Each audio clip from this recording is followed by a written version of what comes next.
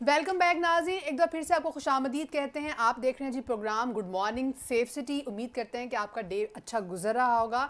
सो so, आज का जो सेगमेंट है ज़ुबैर वो मेरी बहुत सी अपनी बहनें ख़वातीन जो देखती हैं मेरा शो उन्होंने रिक्वेस्ट की कि जी आप बात करें वर्चुअल वुमेन पुलिस स्टेशन के हवाले से। अभी भी कुछ लोगों की क्यूरीज थी कि किस तरह से हम वर्चुअल से रबता करें किस तरह से हम अपने मसाइल को का हल निकलवा सकते हैं। पुलिस स्टेशन जाए बगैर क्योंकि जी ये जो सी एम पंजाब मरीम नवाज़ शरीफ साहिबा हैं उनका ये बहुत ही ज़बरदस्त इनिशिएटिव है। ख़वातीन के लिए लिए वर्चुअल वुमेन पुलिस स्टेशन की का, के नाम पे जो ये हमारी मेरी आवाज़, मरियम नवाज़, के ख़वातीन को पुलिस स्टेशन के चक्कर कम से कम लगाने पड़े और जी घर बैठे जहाँ पे उनके साथ कोई खुदा न खासा हादसा हो जाता है वो जस्ट हमें कॉल करें और उनके मसाइल को हल कर लिया जाए। सो मैं डिटेल आपको नहीं बताऊँगी। इसके लिए स्पेशली आज हमने अपने प्रोग्राम में मदू किया है। Incharge virtual women police station Miss Aqsa Fayaz को प्रोग्राम में उनको वेलकम कहते हैं। आपके तमाम सवाल के जवाब भी आज हम उन्हीं से लेंगे। अस्सलाम वालेकुम अक्सा। वालेकुम अस्सलाम। अक्सा बहुत शुक्रिया आपने अपना वक्त निकाला शो के लिए। अक्सा मेरा पहला सवाल ये है कि वर्चुअल वुमन पुलिस स्टेशन से रबता करने का तरीका कार क्या है?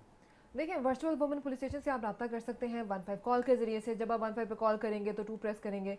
इसके अलावा इसके साथ आप वुमेन सेफ्टी ऐप के ज़रिए से भी हमसे रब्ता कर सकते हैं Punjab Punjab safe cities authority की जो ऑफिशियल वेबसाइट है। वहाँ पे आपको पोर्टल भी मिलेगा वर्चुअल वुमेन पुलिस स्टेशन का। आप इस पोर्टल के ज़रिए से भी हमसे रब्ता कर सकते हैं। सो so, ये मल्टीपल आपके पास ज़राए हैं जिनके थ्रू वर्चुअल से रब्ता किया जा सकता है। सो so, आपको पंजाब भर से केसेज मौसू हो रहे हैं वर्चुअल बिल्कुल ऐसे ही है। वर्चुअल वुमेन पुलिस स्टेशन पूरे पंजाब को कवर कर रहे हैं। ठीक है। और अब तक रफली कितने केसेज आपको मौसू हो चुके हैं जिसमें खातन बहुत सेटिस्फाइड हैं और रब्ता कर रही हैं आपसे? अब तक अगर मैं बात करूँ तो हमारे पास तकरीबन अठारह हज़ार केसेस ऐसे हैं कि जो हमें या ऐसी कॉल्स हैं जो कि हमें मौसू हो चुके हैं जहाँ पे हमारी विक्टिम खातून है। ठीक है। अच्छा अक्सर मोस्ट इंपॉर्टेंट थिंग कि अब तक कितनी एफ़ आई आर रजिस्टर्ड हो चुकी हैं और उसके साथ साथ कितनी लोगों के दरमियान के माबैन सुलह सफ़ाई का मामला बखूबी सर अंजाम पा चुका है।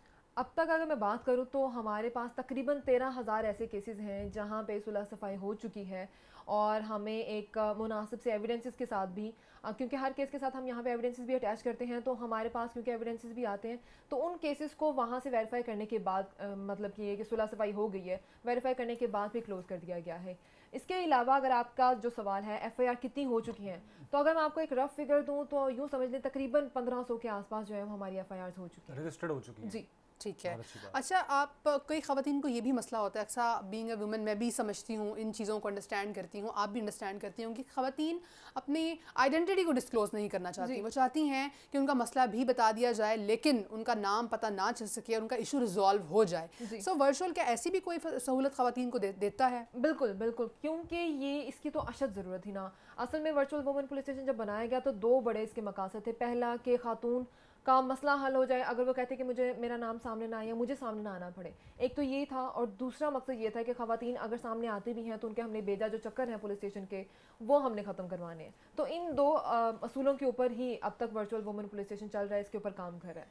तो अगर कोई कहते हैं कि मेरा नाम सामने ना आए मेरा मसला हल करें या फिर मेरे आसपास जो कुछ हो रहा है कि मैंने रिपोर्ट तो कर दिया लेकिन मुझे सामने नहीं आना। तो हम दोनों सूरतों में खातन को फैसिलिटेट करते हैं। अच्छा अक्सर मुझे ये बताएँ कि अब खातन की तरफ़ से कैसा रिस्पांस आ रहा है? क्योंकि वर्चुअल वन पुलिस स्टेशन को कायम हुए आ, अब थोड़ा बहुत गुजर चुका है।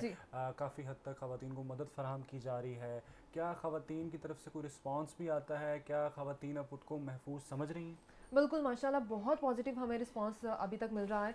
और जैसे कि आपको पता है कि वर्चुअल वुमेन पुलिस स्टेशन अगर किसी को नहीं भी पता तो भी मैं बता देती हूँ कि वर्चुअल वुमेन पुलिस स्टेशन जो है, वो कंटिन्यूस हमने फॉलोअप्स लेने होते हैं। फॉलोअप का मतलब ये नहीं कि हमने सिर्फ़ पुलिस से फॉलोअप लेना है, हमने अपने विक्टम से भी फॉलोअप लेना होता है। तो जब उनको कॉल की जाती है फॉलोअप के लिए तो माशाल्लाह माशाल्लाह इतना पॉजिटिव रिस्पांस कि इतना वो खुश हो रही होती हैं कि हमारा मसला भी हल हो गया स्पेशली हरासमेंट जैसे या डोमेस्टिक वायलेंस जैसे केसेस में, कि जहाँ पे खातन को हरासमेंट में खसूसी तौर पे जो बच्चियाँ हैं उनकी रिक्वेस्ट होती है कि हमारा नाम सामने आए, हमारे मसले को हल करें।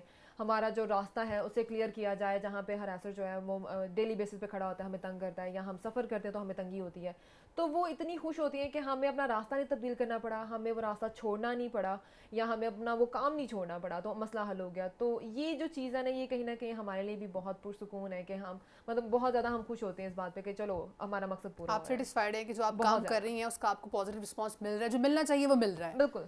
और अगर कोई खातून ऐसी है कि पुलिस ऑफिसर के साथ कोई मेल पुलिस ऑफिसर मौके पर गए हैं और वो सेटिस्फाई नहीं हो पा रही वो किसी फीमेल से ही बात करना चाह रही हैं सो कोई ऐसा भी ऑप्शन है कि आपको कॉन्फ्रेंस कॉल जैसी कोई सहूलत हो कि आप खुद इन बिटवीन आए और अपना मसला आपको बता दे और ऑफिसर भी वहाँ पे मौजूद हो। ऐसा भी कोई सिस्टम है यहाँ बिल्कुल ऐसे ही है। कॉन्फ्रेंस कॉल्स भी करवाई जा रही हैं वर्चुअल वुमेन पुलिस स्टेशन की जानब से ताकि हमारी जो विक्टम खातून है ना वो पुरसकून हो के अपना मसला सारा बता भी दे।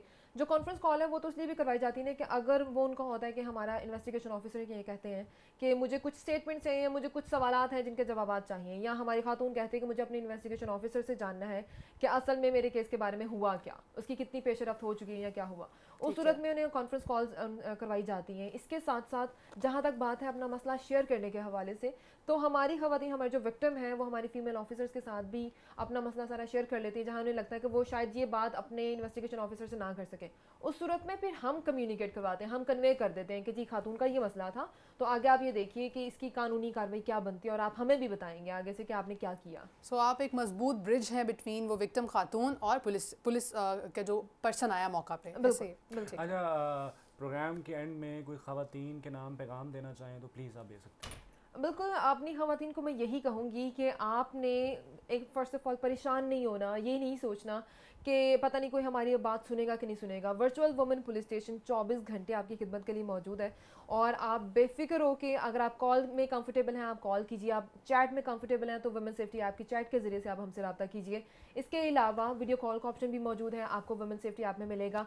तो आपको जो भी परेशानी है, किसी भी वक्त में परेशानी है, आप कभी भी हमें कॉल कीजिए, इंशाल्लाह जी हम अवेलेबल रहेंगे। बहुत शुक्रिया अक्सर आपके वक्त का। जी so ये much. थी हमारे साथ incharge virtual moon police station Aqsa Fayaz जिन्होंने हमें बताया कि कितने केस रजिस्टर्ड हो चुके हैं कितने लोगों को मदद फराम की जा चुकी है ख़वान का रिस्पॉन्स कितना है और ख़वान कितना अतमाद कर रही हैं वर्चुअल मून पुलिस स्टेशन पे। तो अब आपने क्या करना है? आपने हमारे सोशल मीडिया पेजेस पर जाके कमेंट करना है और कमेंट करके बताना है कि आपको हमारा प्रोग्राम कैसा लगा। आपने हमें फीडबैक देना है क्या बेहतरी ला सकते हैं क्या चेंजेस कर सकते हैं क्या इनोवेशन हम ला सकते हैं ये तमाम चीज़ें आपने बतानी है और हमारा सोशल मीडिया अकाउंट है ट्विटर का P S C safe cities और फेसबुक का मेरी कॉलिक बताएँगी। और फेसबुक का है जी पंजाब सेफ़ सिटीज़ अपना बहुत सा ख्याल रखिएगा, अगर किसी नए प्रोग्राम के साथ, नए गेस्ट के साथ कुछ और इन्फॉर्मेशन वाली बातें लेके आपके पास आपकी खिदमत में हाजिर होंगे। ने के बाद।